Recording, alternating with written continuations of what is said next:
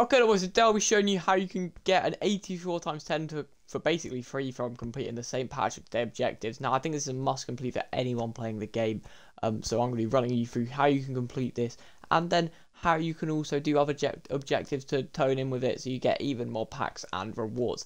So first of all, let's have a look at what we get here. So we get a nice Collins, an 84 times 2, a nice O'Sullivan, an 83 times 5, a nice Cullen, an 81 times 11, a nice Ogbene, and an 83 times 10, and then obviously the 84 times 10 for finishing it.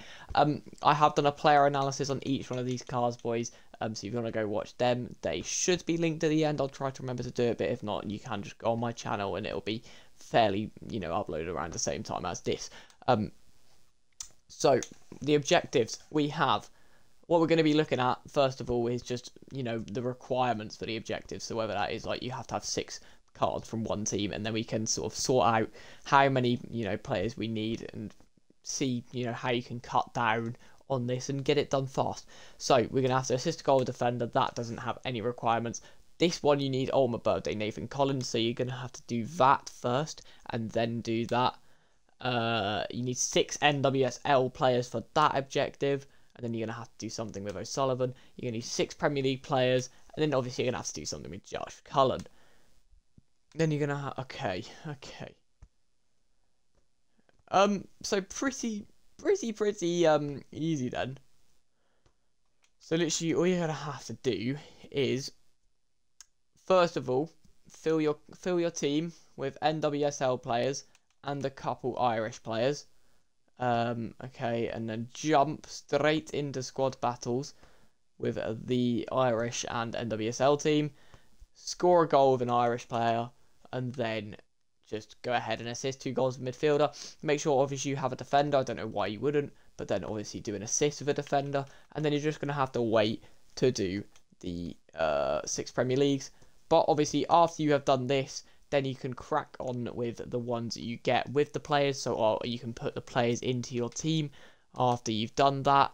Um, so after obviously after you've done that, you can do them, and then just literally just do that, lads. So the first three you do is O'Sullivan, Collins, and Benny to make it simple. And then after you've done, who would be the first one you complete? Collins, you then do that one, and then when you complete O'Sullivan, you take the NWS player L players out and put six Premier Leagues in. Simple as. Um, and then obviously you just keep doing the objectives. Um, and then when you can complete the card, you can just move on to the next one. That's literally it, boys. That's how you can complete this one. But let's have a look now at what objective you can pair up with this one to just help you get any objectives done with it. So you got um, the daily play, but that's not that's been not that's not been working for two days now. I don't know what's going on with that. Uh, you've got Falcao. Falcao is one that you can do. Um, so if you just replace one of those Irish players you've got with a Colombian, you can start doing that bit of him.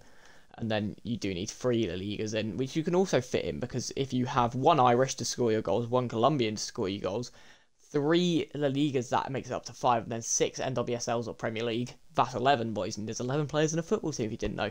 Uh, and then obviously you can do the uh, assist goals with 85 pace as well with that. So you can also get a nice Falcao card here. He actually very. I've done another player analysis on if you want to go look as well on my channel for that one.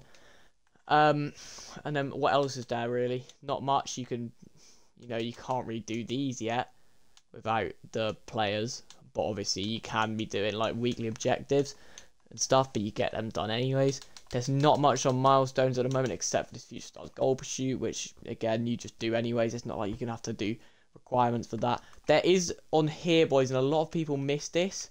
This FC Pro teams where you unlock a kit and then you do a masterclass and you get some nice packs. They're not much, but just for changing your crest um in every two games, it's not that deep. Like you, it's really easy.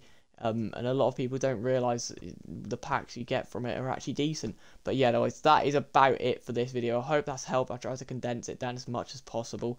Um, but I hope you have enjoyed. If you have, please like and consider subscribing because I do everything to do with FIFA content. And yeah, see you in the next one.